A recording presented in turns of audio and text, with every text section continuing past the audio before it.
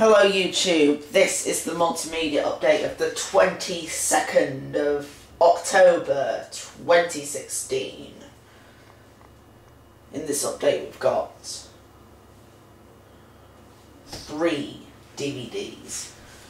One's part of the Not Disney collection and two are part are new are new Monday releases on the 17th of October and I also have one retail video and and five rentals. So let's get started on the first DVD, which is a chapter from the Walt Disney collection. I'm doing it so I'll do a review first and get it over with. Uh, uh, and it's Cars Life 2.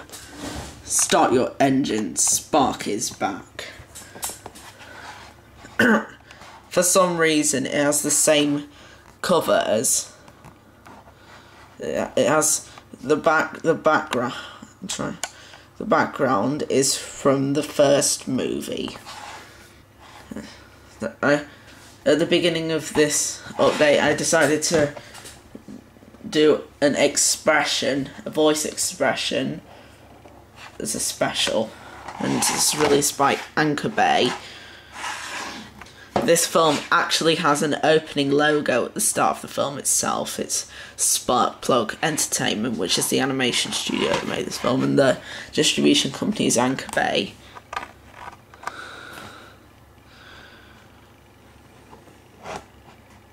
It's got no material likely to offend or harm, offend or harm because the film is so inoffensive. I think it's quite the opposite. I think it's nearly the opposite of its predecessor. And I'll actually now show you a review of this film. Cars Life 2 improves on every aspect the first film failed to do. But that's like having a normal poop instead of diarrhea. It's still a disgusting piece of poop at the end of the day.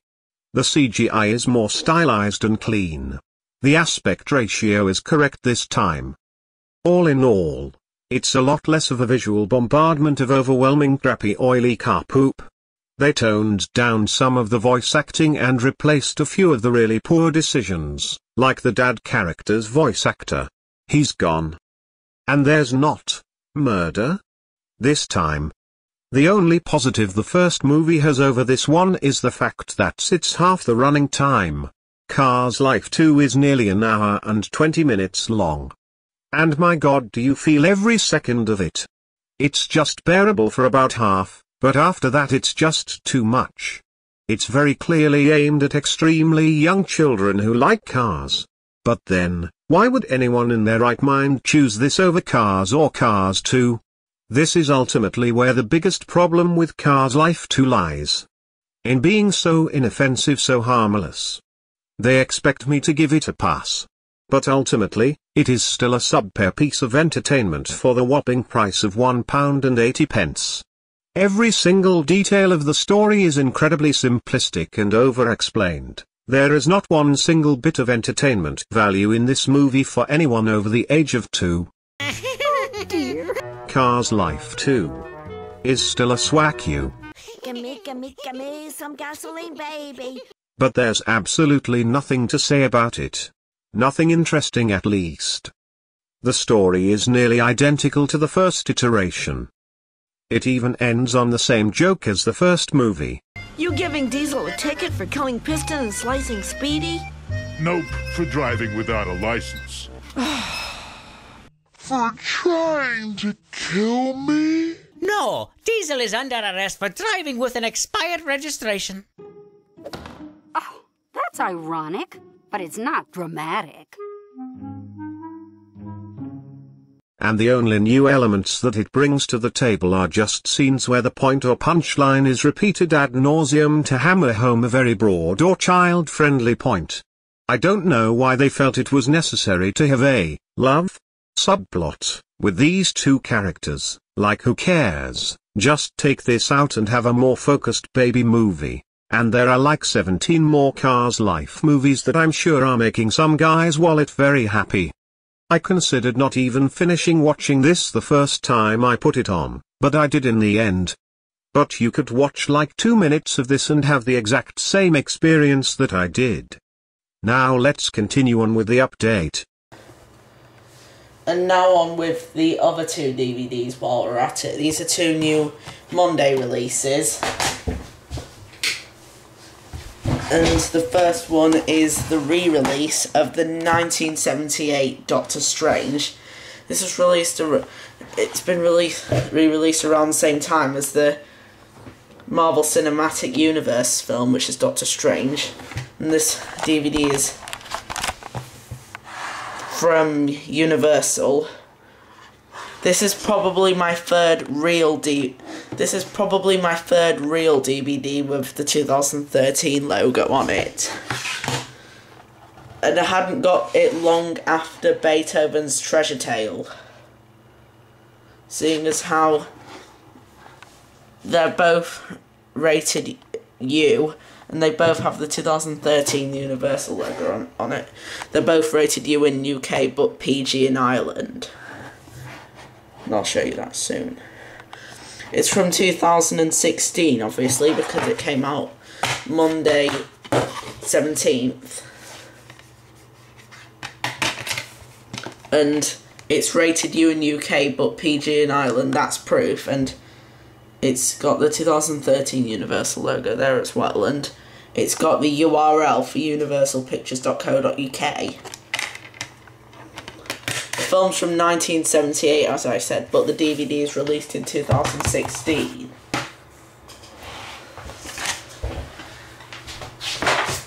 And the next and final DVD for this update is The Meddler. It's another new release. It stars Susan Sarandon, Rose Byrne, and J.K. Simmons. On Sony Pictures. This film is also made by Stage 6 Films and Anonymous Content.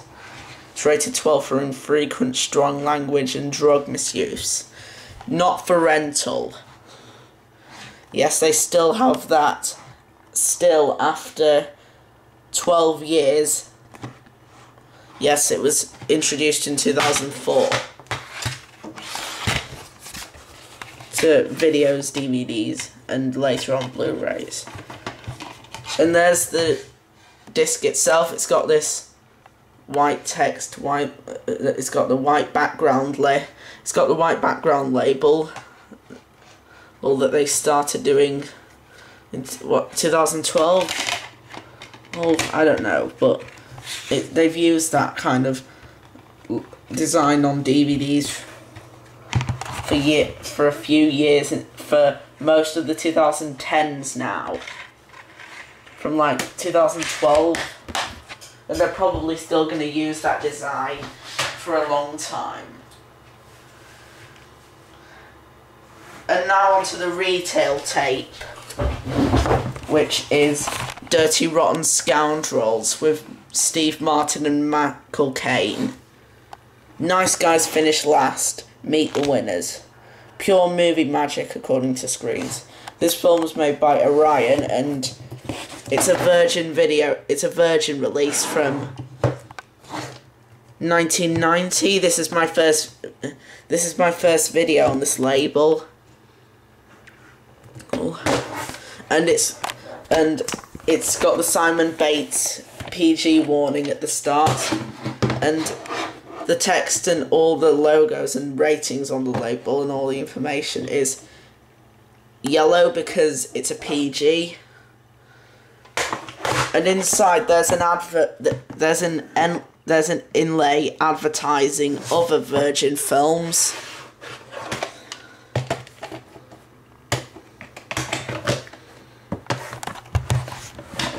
And then I think Virgin started creating videos in 1980 to 1990 when it was bought by Polygram and it turned into Vision Video and then got bought by Universal when Seagram and Sons owned Universal. And the Virgin name remains in films still because they've resurrected it as a film production company called Virgin Produced, which made Limitless, Movie 43, and Immortals. Those are just some examples of films that Virgin produced. That in the 2010s when it was resurrect like resurrected. I don't know if it was wasn't completely a, a resurrection, but the name, the company still remains in the name. And now on to, and there's more rentals than retails in this update, so let's get on with the rentals. Got this five video bot, this five video order on eBay, and these are the films that I got with this one. This is the Thriller, the, the Thriller bundle that I ordered on eBay. It includes five rentals. This one's Catwoman with Halle Berry on Warner. Is from 2004. Many people thought this was a box office bomb, but sometime I'll need to try it out myself. The tape's copy protected. The only tape that isn't copy protected in this update is Dirty Rotten Scoundrels, which I just showed you. All the rentals in this update, I think, are copy protected. It's it's got it. 12 contains moderate action violence. Rental copy resale restricted. I got this for resale, so yeah. It's also a Village Roadshow film. At the time, Village Roadshow did a lot of films with Warner Brothers. Pardon me, I just burped. I just put up mention that. That has nothing. Burping has nothing to do with this video, but it just happened. Burping is inevitable. Anyway, let's get back on to the update. This is the tape itself. Like most Warner rentals at the time, the tape's blue. That's one what Warner did. That's what Warner did since 2002, when they got the not for rental and rental copy resale restricted stuff.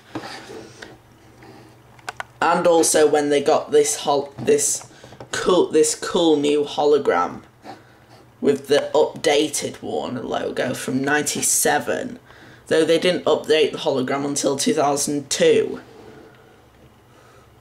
on rentals and 2003 on all tapes. Rental copy resale restricted again, and it's got the older style 12 cert on the label, but the newest but newer style cert on the cover all around. It's got the newer style cert on the cover, and it's got the older style cert on the label, and it's got an end label with the content advisory on it so that you know what the film contains so you can decide whether it's appropriate or inappropriate for your younger children. They do that they did that with all rentals. But uh, they did a content advisory with most rentals at the time. This next one here is Clear and Present Danger. This is the second chapter in the Jack Ryan series. I've got the first one, which is Patriot Games. Got that on Blu-ray. This film stars Harrison Ford. Truth needs a soldier. It's a Paramount release. This is this is a CIC release from, I guess, 1990, 94, I guess, or 95, I don't know. But this is this is a Paramount Pictures film.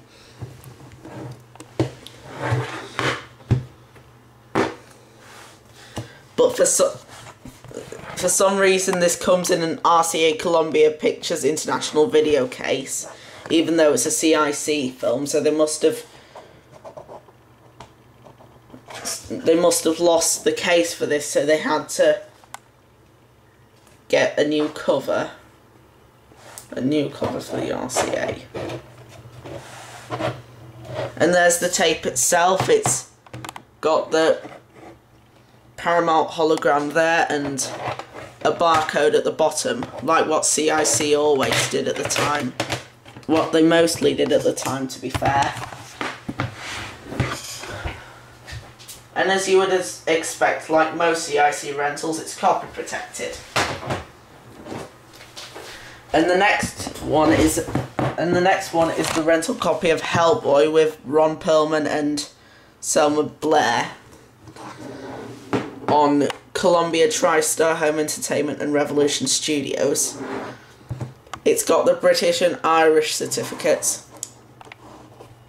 I assume that Columbia TriStar was one of the first companies to put both the British and Irish ratings. And they've got that rental copy resale restricted on the same it's the same kind of style as not for rental and they still will use the not for rental today and they'll probably use it for the rest of DVD, Blu-ray and 4K Ultra HDs live and for new formats. Just need to clear from all that talking. Contains moderate fantasy violence and horror. This film's also produced by Lawrence Gordon Productions, which also made the Tomb Raider film series and K-Pax.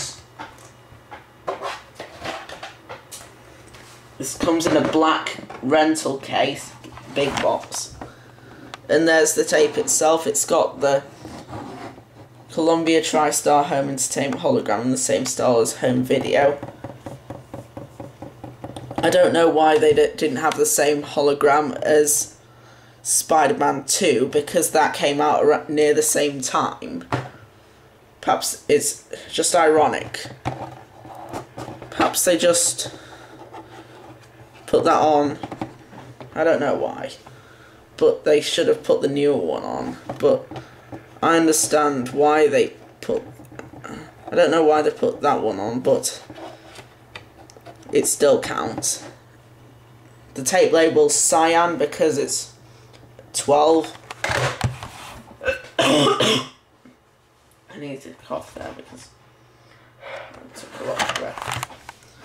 And instead of having the content advisory in these lines, it it's like the cover. It says contains mon moderate fantasy, violence, and horror.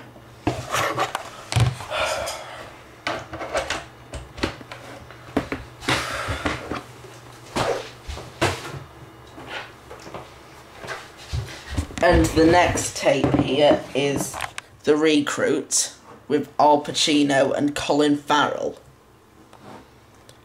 Trust, betrayal, deception. Nothing is what it seems. This is a rental tape. It's an action thriller on Touchstone.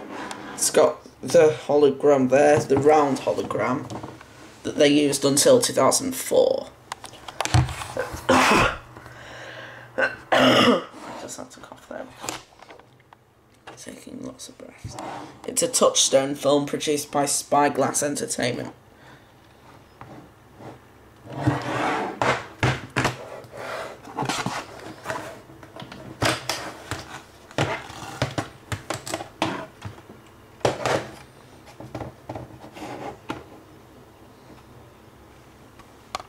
And there's the tape itself. It's got the Buena Vista 2003 hologram there, and it's got, yet again, it's got an end label of the content advisory on it. A lot of the rental tapes I got in this update have them on it. Almost about over half of them. And the final tape, and the final tape in this update is Zulu Dawn. Burt Lancaster, Peter O'Toole, and Simon Ward. I wasn't talking, not to be confused with the GoAnimate user Simon Ward. This is the actor who was probably born long before him. I've seen, yeah, I've seen some of Simon Ward's YouTube videos. The Go Animator I'm talking about.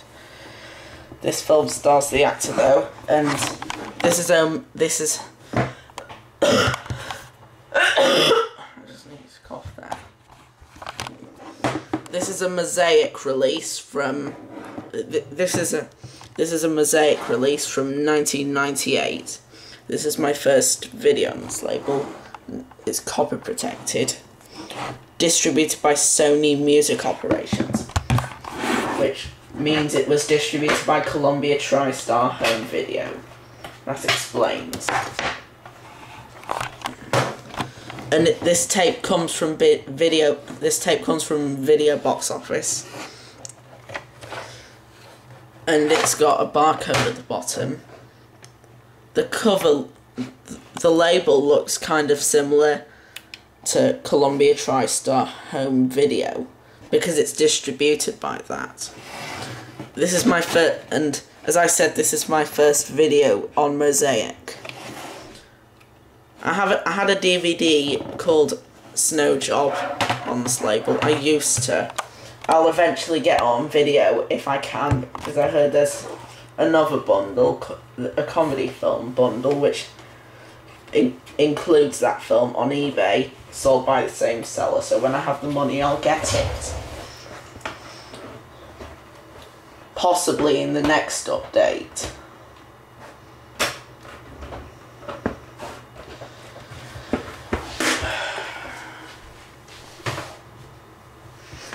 And now onto the one cinema ticket I got. Let me just get it out. I'm just gonna find it. I saw this film yesterday and it's Storks. It's from the same animation studio as the Lego movie, which is Warner Animation Group. I saw this on Screen 14.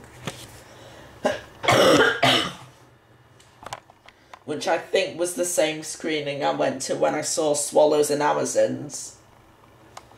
And I was in row H and seat 9. In a minute, I'll show you the, the cinema schedule now. How many films I've seen at cinema to this year. okay. Daddy's Home, Deadpool, Zoolander 2, Grimsby, Alvin and the Chipmunks, The Road Trip. I'm sorry if my voice sounds a bit croaky, but uh, I'm sorry if I sound like I've got a frog in my throat, but I've got a cold. and Captain America Civil War, Robinson Crusoe, Jungle Book, A Hologram for the King, X Men Apocalypse, Mother's Day, Teenage Mutant Ninja Turtles Out of the Shadows, Gods of Egypt, Independence Day Resurgence, The Legend of Tarzan, absolutely fabulous movie. Now You See Me 2, Ghostbusters, Star Trek Beyond, Finding Dory, Suicide Squad, The BFGs, Walls and Amazons, Sausage Party, Nine Lives, Ben Hur, The Magnificent Seven, Bridget Jones's Baby, Deepwater Horizon, Miss Peregrine's Home for Peculiar Children, Inferno, and Storks. And in the next update, I'll probably have two cinema tickets for the two films that I'm going to see next week. And they're both distributed by 20th Century Fox. And those films are going that I'm going to see next week will be Keeping Up with the Joneses and DreamWorks Trolls. And now I'll just go and get the movie posters. There's five film posters.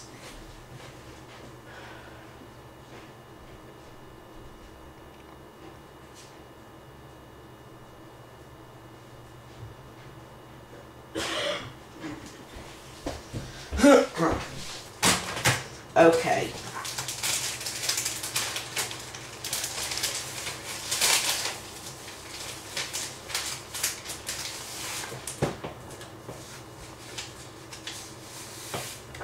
Okay, so this film poster is um, is for the film Almost Christmas, which comes out the same day as Allied, which I showed you the movie poster for last update. And the film's distributed by Universal Pictures and produced by Will Productions. Printed this off on the 20th of October 2016, which is the last day of school before half term for me. And the next poster is for a film that I'm going to see, and that's Arrival. It's rated 12A. And it's produced and it's distributed by Entertainment One in the UK, but Paramount in the US. It's distributed by Entertainment One in the UK. It's produced by FilmNation Entertainment. You want to stop disturbing me? Sorry. Let's continue on. The film's also produced by Lava Bear Films, which is a production company owned by Reliance Entertainment, and it's also produced by 21 Laps Entertainment.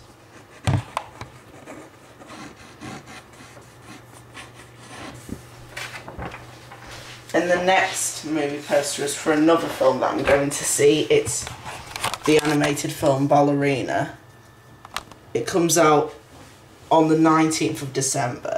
The film's produced by Gaumont and distributed by Entertainment One over here in the UK.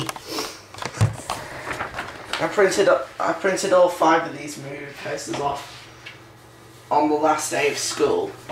On a normal, typical Friday at or end of week at school, I'd only print off one. But on a day, on a on a special day like half term or end of term at times, I'd print off more than one. And this next poster is for Collateral Beauty. I'm probably gonna see this film. I also did a trailer react for this film. No joke, I actually did. And the film's distributed by Warner Brothers Pictures, produced by New Line Cinema, because New Line Cinema films nowadays are distributed by Warner Brothers worldwide, and it's produced by Village Roadshow Pictures and produced by Overbrook Entertainment. And this film stars Will Smith, and Overbrook is Will Smith's film studio. I printed all these posters off on the 20th of October. All five of these in this update. And the next film poster is a film that I'm going to see, and I also saw the poster for this. I'm going to see it. comes out the same week as the film Ballerina, which I showed you a few seconds ago, and it's Passengers, which stars Jennifer Lawrence and Chris Pratt. 30 years into a 120 year journey. They weren't supposed to wake up. This film's distributed by Columbia Pictures, a Sony company, and produced by Village Roadshow Pictures and Original Film.